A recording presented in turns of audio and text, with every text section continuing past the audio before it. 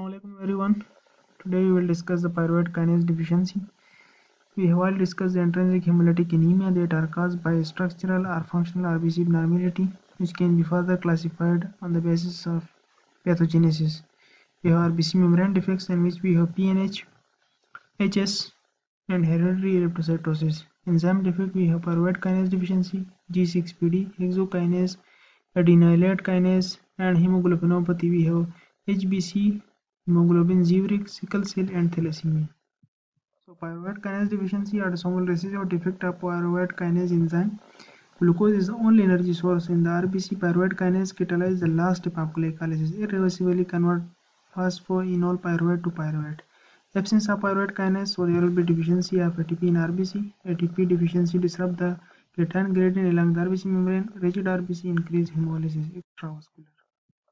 So the there will be accumulation of 2,3 biphosphoglycerate which release increase the release of oxygen from HB so mask the symptom of anemia. Clinical symptoms so typically newborn jaundice due to hemolysis, history of exchange transfusion, splenomegaly, pallor, fatigue, weakness, in rare cases hydrocephalus. Diagnosis so decrease pyruvate kinase enzyme activity, PKLR gene mutation, and on the blood smear we will have burr cells. What is the treatment? So treatment is phototherapy and our exchange transfusion. In the case of severe anemia or excessive large spleen, so we can also do splenectomy.